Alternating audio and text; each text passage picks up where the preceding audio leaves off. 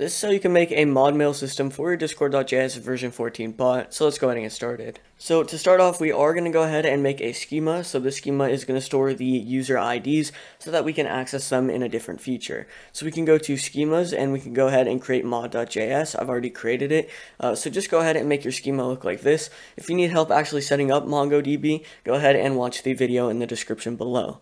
Once you've created a schema that looks like this, we can go over to our index.js file. Wherever we have blank space, we can actually go ahead and define that schema. So we can do const mod schema equals require, and then we can get our dot slash schemas slash mod just like that. You're going to make sure you have the message content both enabled here and in the developer portal, and you're going to need to make sure you have these partials also set up, the message, channel, and reaction partials. After setting up the intents and partials, we can go ahead and start by doing client.on events.message create.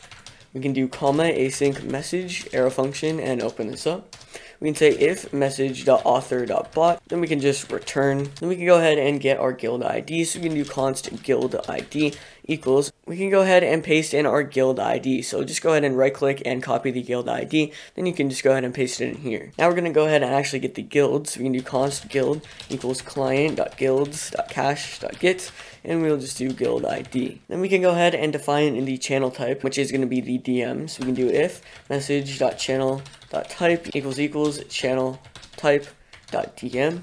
We can go ahead and open this up we can say const member equals message.author. Then we can actually go ahead and open up our schema, our mod schema right here. So you can do mod schema.find one. In here, we're going to get our guild, and that is going to be guild.id. Then we can get our user, and that is going to be member. We can do comma async, error, and data. And we can go ahead and open this up. In here, we're going to get our error, and we're going to throw that error. Now we can go ahead and say if no data. We can go ahead and open this up, and we can say mod schema.create. In here, we can do guild, and that is going to be guild.id and we can do user and that is going to be member.id. Then we can come down here and say if data, we can open this up and in here we can go ahead and just copy the mod schema.create that we got from there and just go ahead and paste it in here. So now we can go ahead and actually check if the message that is trying to be sent to the channel has any attachments. So we can say if message.attachments.size is greater than zero, we can open this up. We can say message.react and in here, I'm just going to copy like an X emoji. This will indicate that the message has not been sent. And then we can just say return member.send and we'll say I cannot send this message. Now we can come down here and say const pos channel or possibly channel equals guild.channels.cache.find c arrow function c.name equals equals equals and we can go ahead and open up message.author.id. Now we can say if pos channel we can go ahead and open this up. We can say const embed equals new embed builder. We can add a color by doing set color, and that will be blue. We can then set an author, so set author, and this is going to be name. And in here, we can do message.author.username. And then we can do icon URL. In here, we can do message.author.display avatar URL, just like that. We can then go ahead and add a description, so set description. And in here, we're going to go ahead and put message.content. Then we can say pos channel send and we can do embeds and our embed. Now we're to go ahead and react, so message.react. In here, I'm just to put like an envelope emoji just to indicate that the message was sent, and then we can just go ahead and return. So what we just did here is if this user already has a ModMail channel active, all we have to do is just send the message that they sent within their DMs. Now we're to go ahead and say that if there is no channel, we can go ahead and create one and send the message. So we're not going to make an if statement. We're just going to do it under here. We're going to say const category equals guild.channels.cache.get. And we're going to go ahead and paste in the category. So to get this category, just go ahead and create a category. It doesn't matter what name it's going to be, but this is going to be where all the mod mail messages are sent. And I'm just going to go ahead and copy the ID. We can paste that ID in here. Then we can do const channel equals await guild.channels create. In here, we can do name, and that is going to be message.author.id. Then we can do type, and that is going to be channel type.guild text. Then we can do parent, and that is going to be category. And lastly, we can do topic. For the topic, we can say a mail sent by message.author.tag just like that. So we can come down here and say member.send, and we can just say your ModMail conversation has been started in, and then we can do guild.name. Now we can go ahead and catch an error, so we'll just do catch error, open this up, and just return. Now we can do const embed equals new embed builder. We can do set title, For our title, we're going to do new mod mail, just like that. Now we can actually go ahead and copy all of this information from above so we can get our color, author, and description. Now we can go ahead and set a timestamp. So we can do set timestamp and we can set a footer. In here we can say text and we'll say use the button below to close this mail, just like that. Alright, so now we're actually going to go ahead and create that button. So we can do const button equals new action row builder. We can do dot add components. We can open this up. New button builder. We can do dot set custom ID. And I'm just going to do button because there is only going to be one button. We can do dot set style. And in here we will do button style dot danger. Then we can say set label.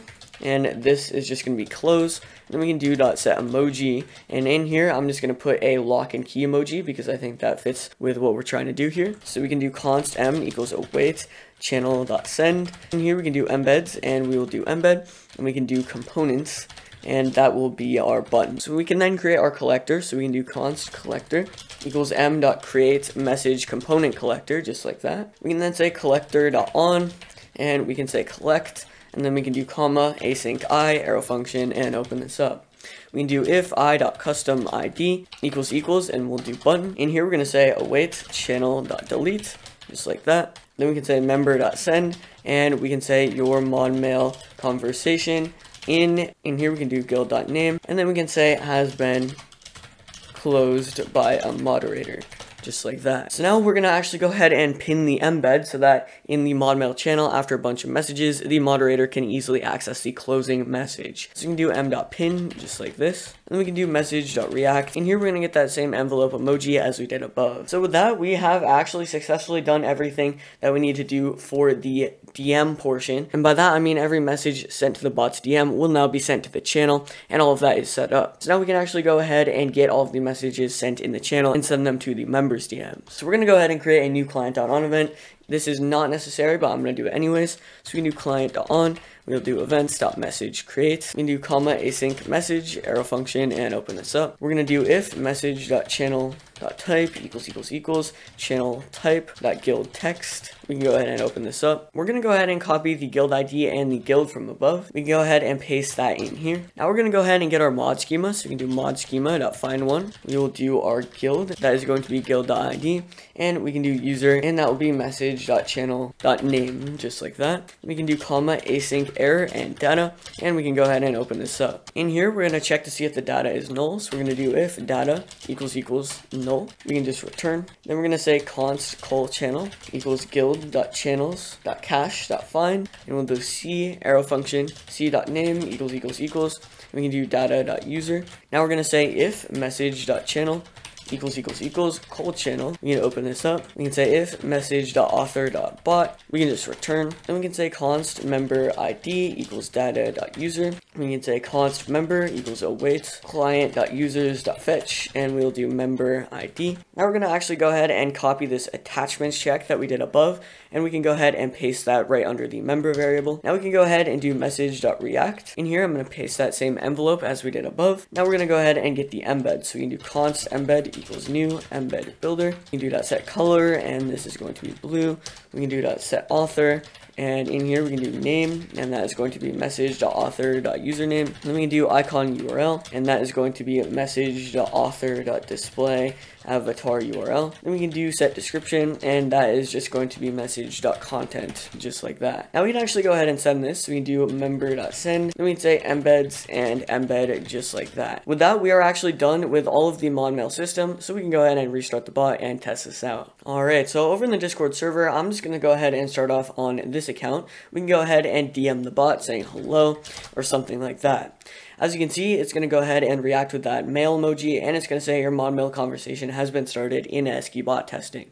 If we go over to the mod mail section right here, we're going to see a new channel come up right here, and that is going to be the member's ID. If we open this up, we're going to see that it says new mod mail with the message, and it's going to go ahead and give me the close button as well as pinning this message so we can easily access it later. So now on this account, we can go ahead and see what happens if we just go ahead and send a message or something like that. As you can see, it's going to go ahead and send it in this channel. Now I'm going to say a message like hello or something like that. As you can see, it's going to react, and if we go over onto the alt, it's going to go ahead and say hello. So we can continue this conversation back and forth pretty much, just like a ModMail conversation would. Now you can also start multiple ModMail conversations at once because we are using a database. So if I were to DM the bot, as you can see here, it's going to go ahead and say my ModMail conversation has been started.